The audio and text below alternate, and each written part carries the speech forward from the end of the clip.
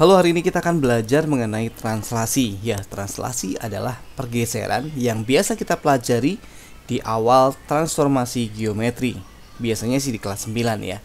Jadi translasi itu sebenarnya kayak gimana? Translasi itu hanya bergeser. Memang kalau kita belajar uh, titik gitu ya, itu tidak akan terlihat. Oke, misalnya kita punya koordinat kartesius gitu ya. Ini sumbu x, ini sumbu y Nah, misalnya kalau titik dipindahin ke ke mana aja nggak kelihatan. Tapi kalau misalnya kita punya sebuah garis, kalau garis itu digeser itu nanti bisa di sini, bisa di kuadran 2, kuadran 3, kuadran 4 dan itu kemiringannya sama gitu. Translasi ya. Nah, sekarang kita belajar dari yang lumayan basic dulu. Ini harus saya hapus dulu. Oke, kita mulai bahas soal yang pertama. Tentukan koordinat bayangan titik-titik berikut. Bayangan titik S jadi S dia adalah min 2,4 koordinatnya ini X dan Y. Dia ditranslasikan yang pertama oleh min 3 2 menjadi mungkin katakanlah S aksen yang ya nanti berapa gitu. Kemudian ditranslasikan lagi dengan 4 1 menjadi mungkin S double aksen ya ini berapa gitu ya cara yang paling gampang adalah kita langsung kerjain aja dua-duanya nggak usah satu persatu.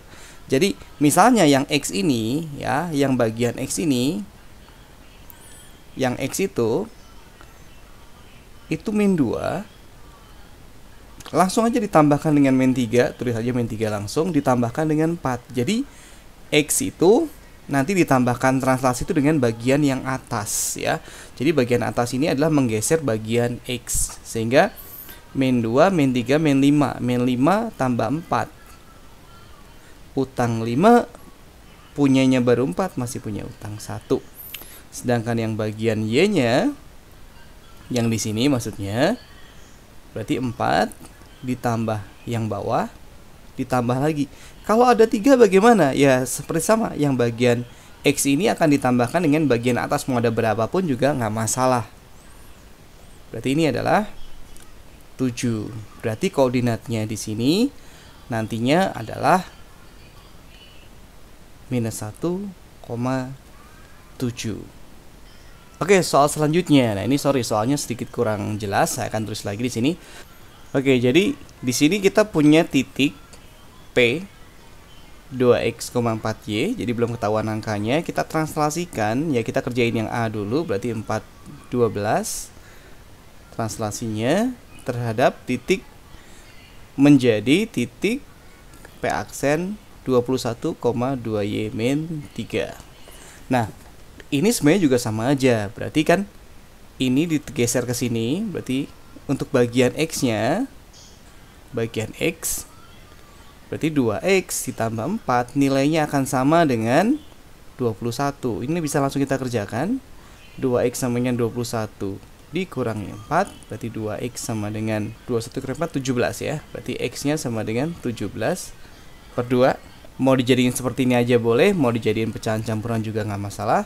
Sekarang kita kerjakan yang bagian y nya nah bagian y nya di sini 4y tambah 12 sama dengan 2y min 3 oke masing-masing akan saya kurangi dengan 12 berarti di sini 4y 12 nya hilang 2y min 3 min 12 berarti di sini 4y sama dengan 2y min 15 kemudian masing-masing akan saya kurangkan dengan 2y sehingga 2y sama dengan min 15 sehingga y nya sama dengan min 15 per 2 oke sekarang kita mau kerjain soal yang B. Ini soal yang A ini soal yang B. Soal yang B mirip ya. Jadi di sini titik 2x,4y ditranslasikan. Nah, di sini translasinya adalah min 7 y, min 7 dan y. Di sini menjadi P aksen yang sama 21, 2y min 3 dengan cara yang sama berarti bagian X bagian X nya berarti seperti ini 2X dikurangi 7 dari sini ya sama dengan 21 2X sama dengan masing-masing ditambah 7 menjadi 28 masing-masing dibagi 2 jadinya 14 sementara itu bagian Y bagian Y nya berarti 4Y ditambah Y sama dengan 2Y min 3 ini dijumlahin dulu 5Y sama dengan 2Y min 3 masing-masing kurangi 2Y di sini jadi 3Y di sini habis jadi min 3 atau kamu dipindahin ke sana jadi min itu juga tidak menjadi masalah masing-masing dibagi 3 min 1 berarti nilai X dan Y nya sudah ketemu yaitu 14 dan min 1 Oke kita ke soal berikutnya dari pelabuhan O kapal laut bergerak 120 mil ke arah timur. Timur itu kanan ya, anggap aja mulai dari sini ya pusat koordinat. Dia 120 mil ke arah timur. Kita kira-kira aja ya. Di sini kalau misalkan nanti gambar pakai gambar kotak ya bisa satu kotak mewakili 10 gitu ya. Di sini saya kira-kira aja dulu. Nah, misalkan di sini angka 120 itu di sini. Gitu ya, angka 120 di sini. Titik kok panah titik 120. Berarti titik ini adalah 120, 0 koordinatnya. Habis itu ke selatan, ke selatan, ke selatan itu berarti ke bawah. Ke bawah dia perjalanannya ke sini. Atau pakai garis juga boleh. Ke sini sejauh 40 ya. Berarti koordinatnya di sini adalah 120, min 40. Kenapa min? Karena di sini kan sumbu Y negatif ya min 40 oke titiknya udah ada di sini kemudian nah ini ada pelabuhan A letak pelabuhan A ya nih pelabuhan A menuju pelabuhan B dengan bergerak 40 mil ke barat barat tuh kiri 40 mil kira-kira sama aja dengan itu gitu ya sampai titik ini. Nah, koordinatnya berapa? Ya, sudah pasti yang di sini berapa ini kalau dikurangi 40? Ya, ini pasti 80 ya. Berarti ini 80, min 40 koordinatnya. Kemudian dilanjutkan 100 ke utara. 100 ke utara berarti ke sana. Kan tadinya 100 ya, ini kan 40, berarti ini sudah pasti adalah 60 karena dari sini 60 sini 40 ya perjalanannya 100 sih menuju ke titik ini titik ini titik berapa titik 80,60 dan ini adalah pelabuhan B nomor A sudah kita jawab langsung ya buatlah rute perjalanan kapal tersebut sudah ya berarti dia ke sini ke sini ke sini tentukan posisi akhir 80,60 udah Tentukan jarak pelabuhan O dengan pelabuhan B. Berarti kita ambil aja garis di sini. Ya, kita pakai warna yang lain. Jadi jaraknya adalah yang merah ini. Berdasarkan Pitagoras, ini pakai triple Pitagoras saja ya, ketahuan banget ya. Kelipatan 3, 4 dan 5 atau mau pakai rumus yang ini 80, ini 60 ya. 80 kuadrat tambah 60 kuadrat hasilnya di akar boleh.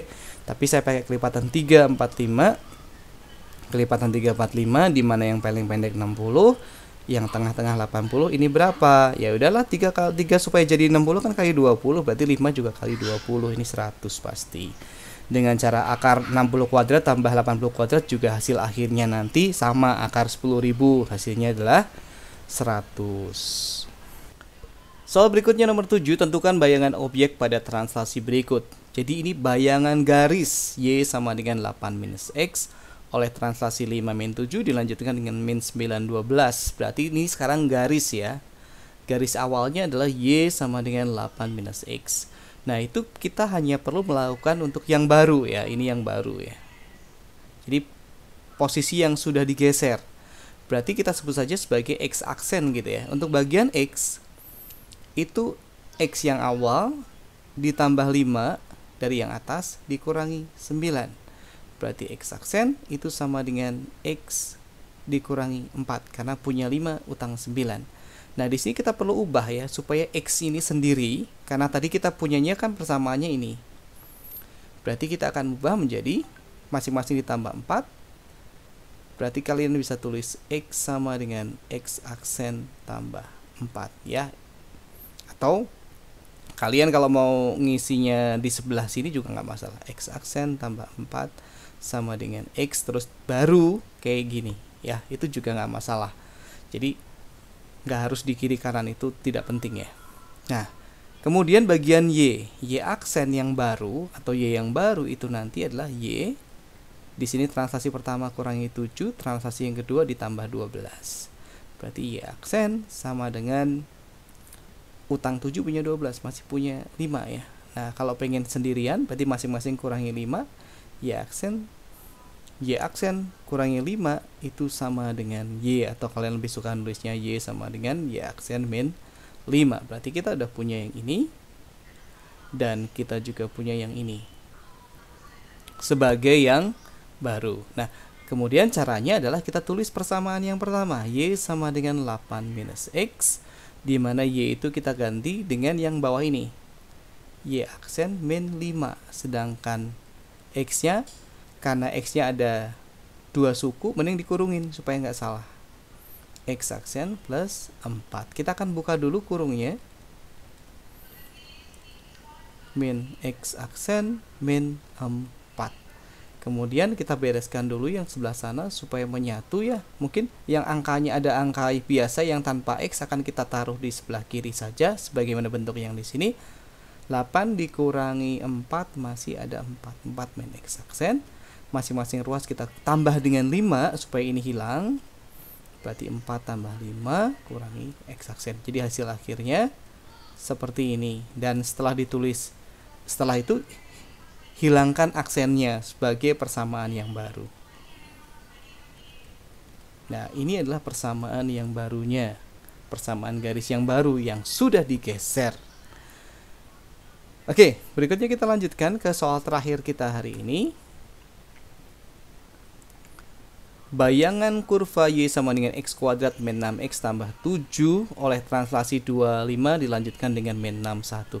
Nah, di sini nanti kalau tadi saya di soal sebelumnya X aksen dan Y aksen saya ubah di akhir, untuk yang B ini akan saya ubah di agak awal. Kenapa? Karena di sini nanti akan ada kuadrat. Bayangin kalau ada X aksen kuadrat itu kan membingungkan. Jadi kita ngerjainnya kayak tadi sih. Yang pertama untuk bagian yang baru X aksen itu adalah bagian X biasa ditambah 2 dikurangi 6. Ingat X itu bagian yang atasnya. Sehingga X aksen sama dengan X kurangi 4. Masing-masing kita tambahkan dengan 4. Seperti ini. Atau kalian kalau mau nulis kayak gini juga boleh.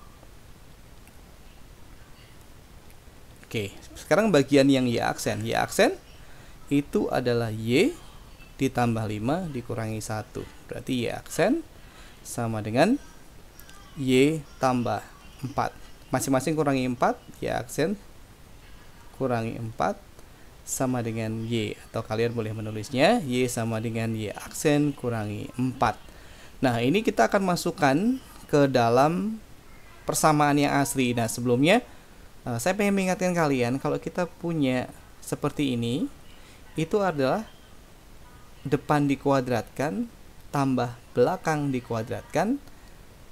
Yang ini isinya koefisien 2 2 ini dari rumus ya 2 kali depan kali belakang. Nah seperti ini. Nah nanti kenapa kita nulis kayak gini? Karena ini akan diperlukan. Yuk kita tulis sekarang persamaannya y sama dengan x kuadrat minus 6x tambah 7 dengan y nya kita akan ganti ya y nya itu apa y aksen min 4 sama dengan X. Nah, X-nya ini kita ganti dengan X aksen tambah 4 kuadrat min 6 dalam kurung X aksen tambah 4 tambah 7. Nah, ada aksen, ada kuadrat. Langsung aja kita kasih petunjuk di sini ya. Langsung diganti jadi Y aksen akan saya tulis langsung dengan Y. Boleh dong masih ini harusnya di akhir tapi nanti akan membingungkan karena ada aksen ada ada pangkat duanya ini akan saya tulis. Jadi saya ubah di awal Yang soal tadi saya ubah di akhir. Jadi kita langsung tulis saja di sini y min 4 sama dengan x tambah 4 dikuadratkan kurangi 6 x tambah 4 tambahin 7 oke kita kuadratkan dulu. Ini berdasarkan rumus yang atas ini berarti depan kuadrat tambah dua kali depan dua kali depan kali belakang. Ya mau ditulis dulu juga boleh lah. Dua kali depan kali belakang tambah belakang kuadrat kalau memang pengen lebih jelas. Ini kemudian ingat ngal kayak gini ya kali ini ya yang operasinya 6x min 24 tambah 7 oke. Ini masih sama ini x kuadrat ditambah 8x ditambah 16 dikurangi 6x ini satuin dulu. Minus berapa ini? Minus 17 Nah, sekarang kita lihat dulu di sini ada yang sama-sama mengandung x dan yang tidak. Jadi kita akan tuliskan dulu. X kuadrat plus 2x karena punya 8 utang 6 di sini adalah 16 kurangi 17 berarti min 1 baru kita tambah masing-masing ruas kita tambahkan 4 supaya jadi seperti ini nah sini udah kosong ya y sama dengan x kuadrat tambah 2x tambah 3. Jadi inilah garis yang sudah digeser. Oke, sekian pembahasan translasi kali ini. Sampai ketemu di video selanjutnya.